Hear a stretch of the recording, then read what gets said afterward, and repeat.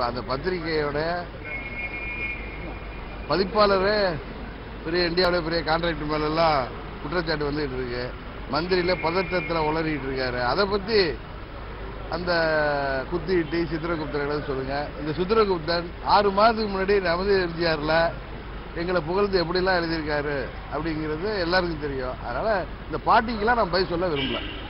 ஊழல் ஊழல் குற்றச்சாட்டு சொன்ன பத்திரிகைக்காரர்கள் தொடர்ந்து ஐடிஎம்கே தரப்புல மிரட்டி வர்றாங்க. கேஸ் போடுவேன் அப்படின்னா ஏற்கனவே அம்மா காலத்துல கூட குண்டாஸ் போடல. அன்பழகன் அகில இந்திய செயலாளர் குண்டாஸ்ல போட்டாங்க. ஆமா. அது வேலுமணி ஏற்பாடு பண்ணி ஒரு லுங்கியோட வந்து இந்த நைட்டோட நைட்டா தூக்கிட்டு போனாங்க. தொடர்ந்து இந்த ஊழல் பண்ணிக்கிட்டு ஒரு குற்றச்சாட்டு வந்த உடனே இந்த மந்திரிகள் பதற்றத்தையும் அவங்க எப்படியெல்லாம் கோவப்பட்டு இப்போ என்னதான் நீங்கள் எத்தனையோ கேள்விகள் கேட்குறீங்க. அதுக்கெல்லாம் பதட்டப்பட்டால மடியில் கனம் இருந்தால் தானே நம்ம பதட்டப்படணும். இப்போ நீங்கள் கேட்டீங்க பெரிய டெக்னிக்காக ஒரு கேள்வி. ஏதோ ஒரு பார்ட்டியில் எழுதுறதெல்லாம் ஒரு பெரிய விஷயமா இருந்துட்டு எழுதுகிற ஆர்வம் பற்றி உங்களுக்கு தெரியும். ஒரு வீட்டில் ஒருவருக்கு முதல் மனைவி ஒரு அந்த ரூமில் ஃபேனில் தூக்குமாட்டி இறக்குறாங்க.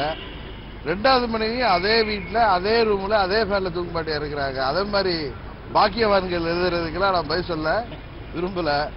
இந்த அரசாங்கம் இந்த முதலமைச்சர் துணை முதலமைச்சர் அமைச்சர்கள் பேர்ல உள்ள முறைகேடுகள் புகார்கள்லாம் ஒவ்வொன்றா வெளியில வந்துட்டு இருக்கு. இன்னொன்னு சொல்லுவாங்க ஒரு நோயாளியுடைய ஐசியூல இருக்கிறப்ப ஒவ்வொரு ஆர்கனா ஃபெயிலியர் ஆகிற மாதிரி ஒவ்வொன்றா வெளியே வந்துட்டு இருக்கு. இப்ப தமிழ்நாட்டில் மின்வெட்டுங்கிற பிரச்சனை உருவாகிட்டு இருக்கு.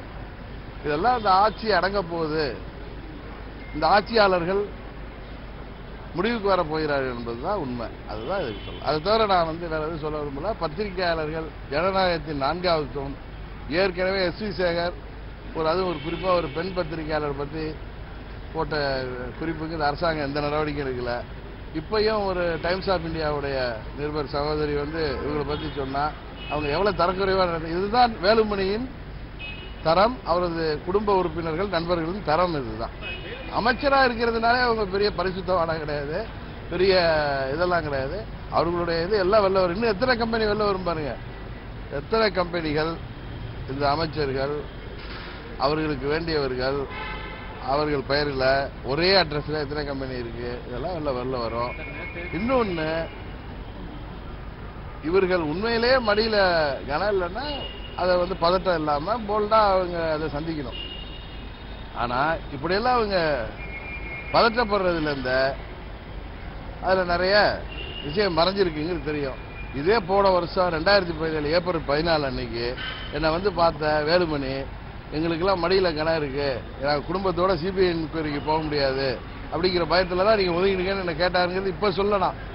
போன வருஷமே சொன்னேன். இதுக்கெல்லாம் காரணம் இது போன்ற பயங்கள் தான்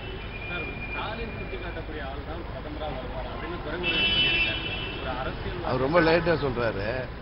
போன மாதமே நான் சொல்லிட்டேன். தமிழ்நாட்டு மக்கள் அம்மா மக்கள் முன்னேற்ற கழகத்தின் மூலம் கொடுக்கின்ற வெற்றி அடுத்த பிரதமரை தமிழ்நாட்டு மக்கள் அம்மா மக்கள் முன்னேற்ற கழகத்தின் மூலம் தேர்ந்தெடுப்பார் நான் எப்பயே சொல்லிட்டேன்.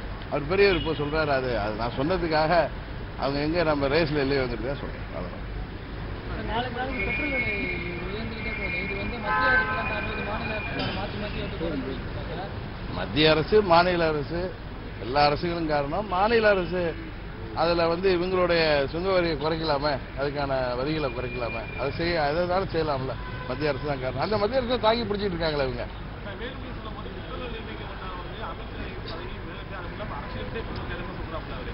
வேலைக்கு அது நடக்க போகுது. மக்களே இவங்க அரசியலை விட்டுலாம் துறவரம் போக வைக்க போறாங்க. அதனால இதுக்கு போய் நிரூபிக்கிறது ஆட்டோமேட்டிக்கா கோர்ட்ல நிரூபிச்சது ஆயிடும் இந்த, அஹ், இவங்க இவங்களோட அரசியல் வாழ்க்கையே முடிவு வர போகுது அதான் உண்மை. பொருளாதாரம் வீழ்ச்சியடைந்து கொண்டிருக்கிறது மத்திய அரசினுடைய செயல்பாடு அவங்க வந்து ரெண்டாயிரத்தி பதினாலு தேர்தல் அறிக்கை போதும் சரி இந்தியா முழுவதும் அவர்கள் சொன்னது ஒண்ணு. அதெல்லாம் நடக்கலைங்கிறதுனால தான் இன்னைக்கு மக்கள் வந்து பெரிய அதிருப்தியில் இருக்காங்க.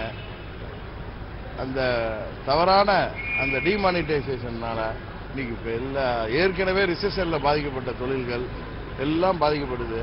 மத்திய அரசாங்கம் எடுக்கிற அவங்க சொல்றாங்க நாங்க வந்து ஒரு வளர்ச்சிக்கான ஸ்டெப்புன்னு. ஆனா எல்லாரையும் நம்பல மக்களை பாதிக்கிற ஸ்டெப் தான் அவங்க எடுக்கிறதா தான் தெரியுது.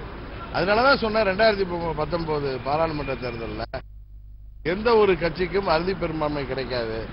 அப்பொழுது தமிழ்நாட்டு மக்கள் அம்மா மக்கள் முன்னேற்ற கழகத்தின் மூலம்தான் பிரதமரை தேர்ந்தெடுப்பார்கள்.